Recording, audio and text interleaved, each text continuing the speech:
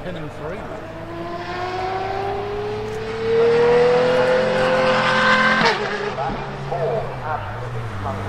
Come on, but given a 2019 tweet. Yeah, change the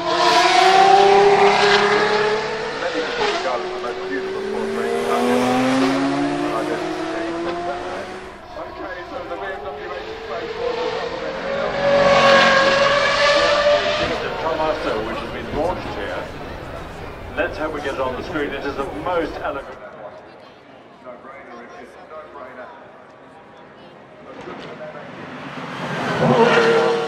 What, uh, what we would do, what we would do if we won a gazillion dollars.